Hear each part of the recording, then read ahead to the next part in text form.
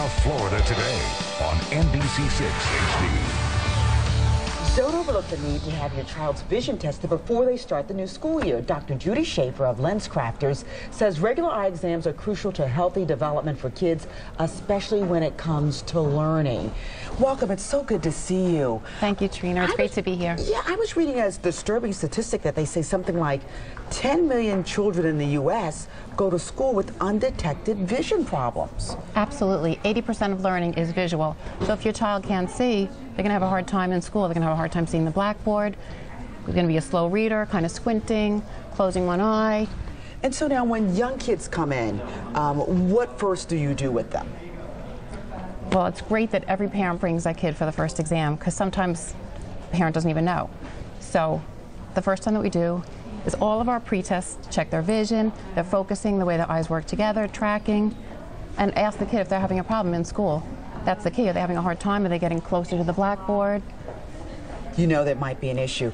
At what age should you just maybe, even if they're not having a problem, what age should kids start getting an exam? Number nine. The AOA recommends that three years old. Most kids come into my office at five years old to have their eyes checked. So as early and that's as important three, before though. they exactly before they even go into school. It's important. Just like you would bring them to the dentist or the regular doctor, you should bring them to the eye doctor also to check their vision. And there's stylish frames now. It's not like the old four eyes. If you would wear glasses, people would make fun of you. Now Ray-Ban makes sungla- makes kids glasses. Rec Specs if you're in sports, even if you don't need a prescription for sports, baseball, basketball. There's so many injuries that you can get to your eyes if you don't have them protected. So they make cute ones. Like these Rec Specs, basketball, baseball, Oh, tennis. those are really cute. Yeah, and then they have the band that keeps them on. So, like, if you're really active, exactly. they don't move they around. won't fall off. Exactly. Now, It's and stylish something like that, kids. that has an actual prescription in it. This you can do with or without prescription for about $99. And the polycarbonate lenses that are impact resistant, so if you do get hit with the ball, it's not going to damage your eyes. Okay, and is once a year good enough for the eye exam, or you ask, you tell I me? think once a year is good enough, but if your kid is growing, like growing in height also, then some people come every six months because it could your eyes can change as quick as your whole body. But minimally once a year, and even like you said earlier, even if you have great vision and you don't think you're having a problem, there's things that could go wrong with the health of your eyes, retinoblastoma tumors, tracking problems, so you still should get your eyes checked regardless every year. And at what age? Well, daily Yeah, contacts, they've got some beautiful Yeah. stuff. Let me ask you about the contacts. Is there a certain age when it, kids are ready for contacts, or is as long as your kid is responsible. Like I've done it as young as seven or eight. Kids that are active in baseball, basketball, soccer, and the glasses would fall off. So it's nice to have. These are great. The dailies. You wear them one day, throw them away, so you don't have to clean them. And sometimes the parents even help the kids put them in or take them out initially until they get the hang of it. The important thing is not to sleep in your contacts and not to wear dirty contacts because you don't want to get an eye infection. So I love the dailies. I wear the dailies when I'm not wearing my glasses.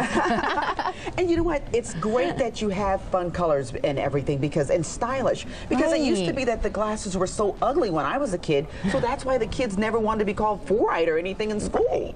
And the cute cases too. Everyone when they pick up their glasses, they always want a cute case too, because the cases are cool colors also. They're like neon. And for girls, you can have your fun favorite color, with little designs. Pretty.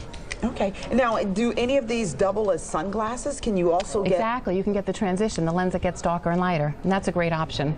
So when you're running outside during recess, or some of them have the clip-ons, like this one comes with a clip-on. So the magnetic clip-ons are easy to pop on and off. Oh wow, that is these. pretty neat.